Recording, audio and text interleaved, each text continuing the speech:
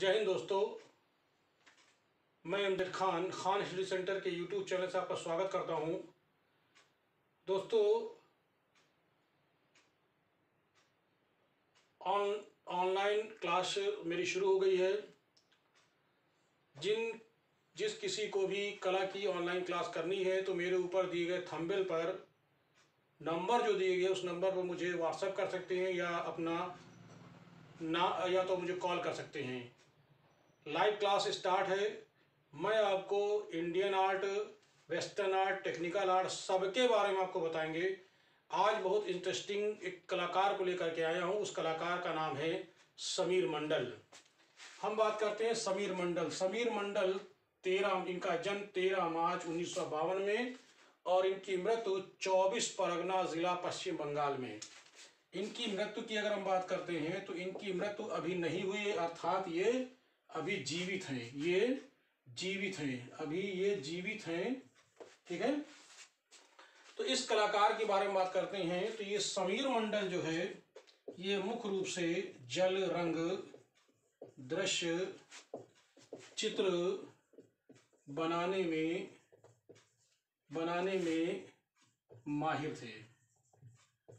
यानी ये जल, रंग, दृश्य, चित्र बनाने में माहिर थे समीर मंडल।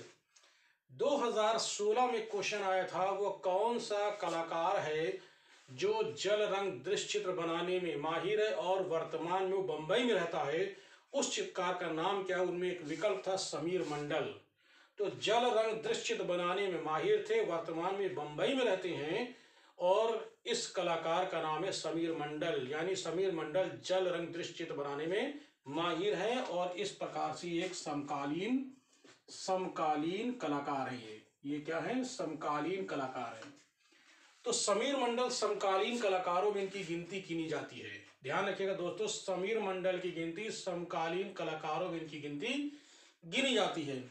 इस तरह से समीर मंडल अपने समय के बड़े ही मतलब अपने समय मतलब अभी वर्तमान में बड़े ही महत्वपूर्ण कलाकार हैं और जलरंग के बारे में मास्टर आदमी हैं। जलरंग के बारे में बहुत अच्छा है। इस तरह से इस महान कलाकार का जो जन्म हुआ था, वो 13 मार्च उन्नीस सौ बावन में 24 परगना के एक छोटा सा गाँव है, छोटा सा गाँव है। उस गाँव का नाम है बाली। 24 परगना के छोटे से गाँव, जो 24 परगना पश्चिम बंगाल में है, छोटे से गाँव, यानी बाली में इनका जन्म हुआ। इनकी प्रारंभिक शिक्षा वहीं हुई। फिर ये फिर इन्होंने 1975 में इन्होंने इन्होंने 1975 में कलकत्ता के गवर्नमेंट कॉलेज में, कलकत्ता के government college government college craft and fine art. तो इन्होंने 1975 में फाइन आर्ट, इससे इन्होंने 1975 में फाइन आर्ट से आर्ट से इन्होंने क्या किया? स्नातक किया। यानी 1975 में कलकत्ता के एक कॉलेज से इन्होंने फाइन आर्ट्स में इन्होंने स्नातक किया। अब इनको कला की जानकारी हो चुकी थी और अधिक कला की जानकारी प्राप्त करने के लिए 1975 में ही चले गए, फिर ये जर्मनी।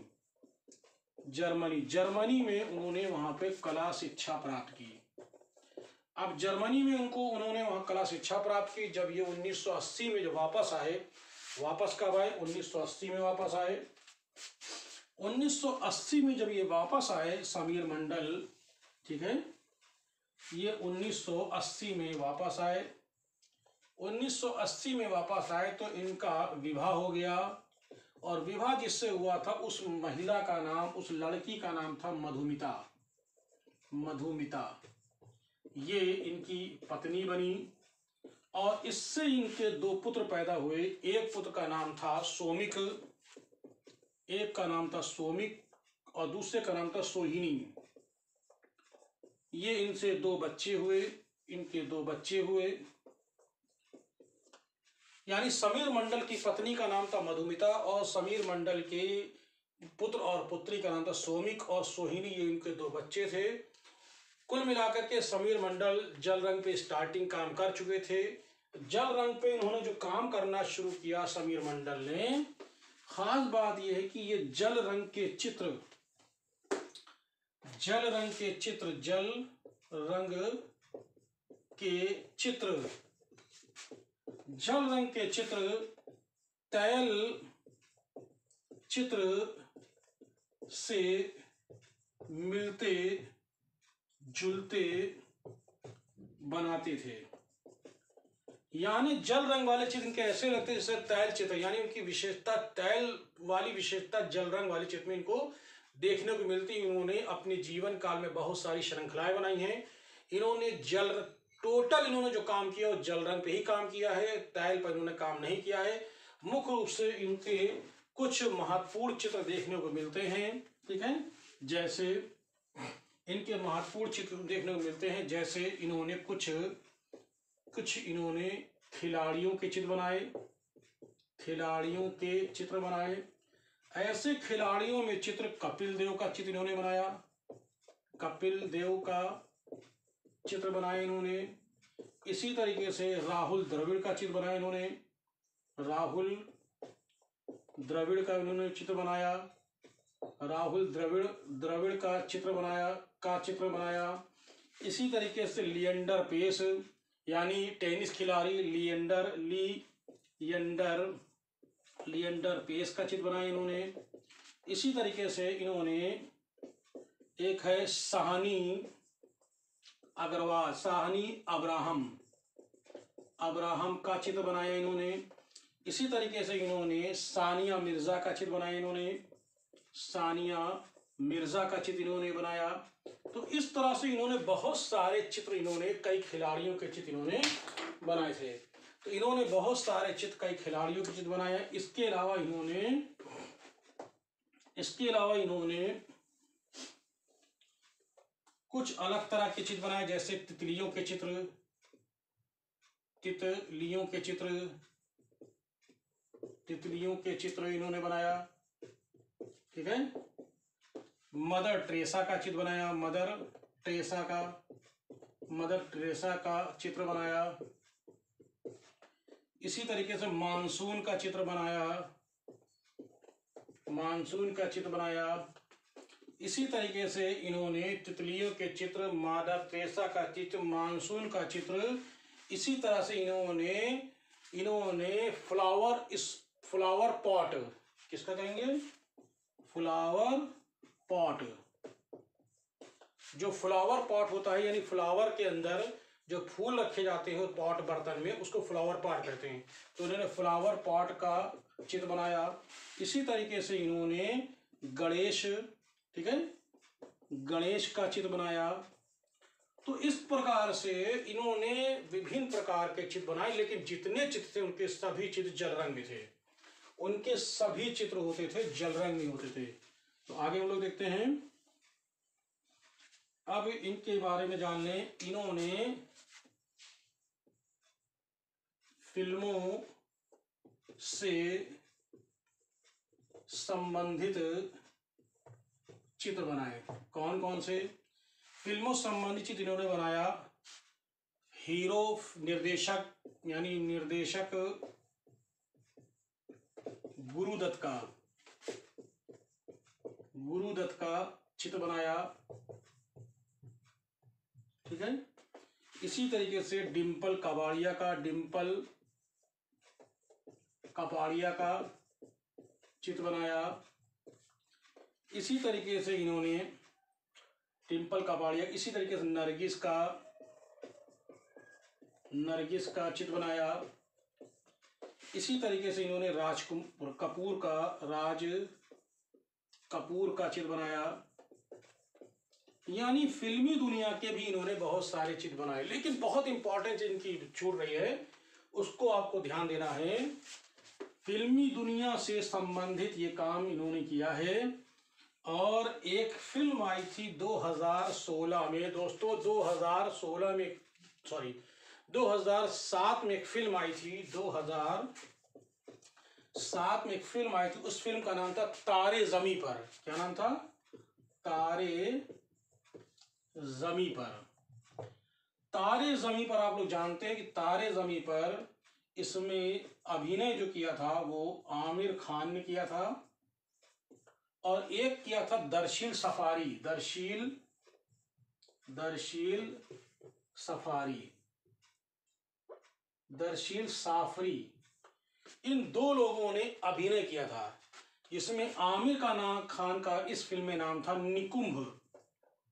निकुंभ। और दर्शील सफारी का जो नाम था, उसमें नाम था ईशान। तो इस फ़िल्म में हम बताना क्या चाह रहे हैं कि समीर मंडल का काम क्या था? समीर मंडल ने इस फ़िल्म में तारे जमी पर एक टीचर का अभिनय, यानी छोटा से टीचर अभिनय का रोल किया था। फ़िल्मों से संबंधित थे। 2007 में तारे जमी पर इन्होंने फ़िल्म बनाई थी। तारे जमी पर फ़िल्म बनी थी। उसमें आमिर खान मूल थे, यानी मुख्य थे।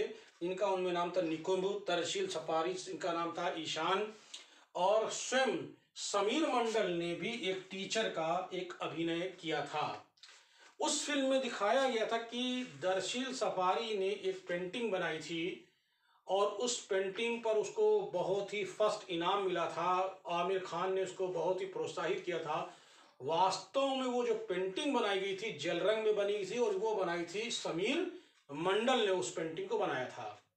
तो समीर मंडल अपने समय के बहुत मतलब अपने समय के मतलब अभी भी बहुत बड़े चित्रकार हैं, जल रंग के मामले में। इंदौर के दो चित्रकार हैं, एक चित्रकार का नाम है प्रभु जोशी। इंदौर के दो चित्रकार हैं, एक का नाम है प्रभु जोशी और दूसरे चित्रकार का नाम है, दूसरे चित्रकार है सफदर सामी। ठीक है? समीर मंडल को फॉलो करने वाले, समीर मंडल का सबसे ज़्यादा उनसे प्रेरित होने वाले इंदौर के इंदौर के चित्रकार हैं। एक चित्रकार का नाम है समीर मंडल के, को जो फॉलो करते हैं, उनको फ़ैन उनको मानते हैं। एक का नाम मैंने बताया, सफदर सफदर, सामी। सामी। और दूसरे का नाम है प्रभु जोशी। प्रभु जोशी। ये भी दोनों चित्रकार हैं। ठीक है? और ये चित्रकार जलरंग पे काम करते हैं। जलरंग पर काम करते हैं। यानी समीर मंडल से प्रेरित होकर के इंदौर के दो चित्रकार जो जूनियर चित्रकार हैं, उन लोगों में सफदर सामी और प्रभु जोशी दोनों ही जलरंग पे काम करते हैं। इनसे बहुत ही ज़्यादा प्रेरित हैं। समीर मंडल ने जलरंग में बहुत प्यारे प्यारे चित्र बनाए, बहुत अच्छे अच्छे चित्र बनाए हैं। कहते हैं कि इनके चित्रों की जो कीमत है कीमत इनके चित्रों की अस्सी हज़ार से लेकर, ठीक है, एक लाख से ऊपर, यानी एक लाख से ऊपर तक इनके बिकते हैं। ठीक है? तो समीर मंडल अपने समय के बड़े इंपॉर्टेंट चित्रकार हैं। समीर मंडल से क्वेश्चन पूछा जा चुका है। मैंने पहले भी अपने स्टूडेंट को बता चुके हैं, इससे पहले मैंने आपको एक वीडियो डाला था नीलिमा शेख का। वो भी उसमें क्वेश्चन पूछा गया था, नीलिमा शेख का क्वेश्चन ये था कि बिन चंपा ग्रो अप उसी तरीके से समीर मंडल क्वेश्चन पूछा गया था कि, वो कौन सा चित्रकार जो जल रंग दृश्य बनाने में आया था, वर्तमान में वर्तमान में बम्बई में रहते हैं? और इस तरह से ये अपने समय के अभी भी बहुत ही नामी चित्रकार हैं। समीर मंडल को आप लोग पढ़िए, देखिए। तो दोस्तों, मैं चाहता हूँ कि आप मेरे इस वीडियो को देख करके लाइक करें सब्सक्राइब करें। जो नए लोग हैं, वो अगर वो जुड़ना चाहते हैं मुझसे, मेरी क्लास से जुड़ना चाहते हैं तो मेरी क्लास रात आठ बजे से नौ बजे तक चलती है। मेरी क्लास एक घंटे के ऊपर हमेशा रहती है। तो जो लोग जुड़ते हैं, जुड़ना चाहते हैं तो वो मेरे दिए गए नंबर पर वो व्हाट्सअप या मुझे कॉल कर सकते हैं। मेरा, मैं आपसे वादा करता हूँ कि आपको 110 प्लस क्वेश्चन करा दूँगा, लेकिन अगर आप मेहनत मेरे साथ करते हैं और मेरे साथ जुड़े रहते हैं तो तब तक के लिए आपको जय हिंद धन्यवाद।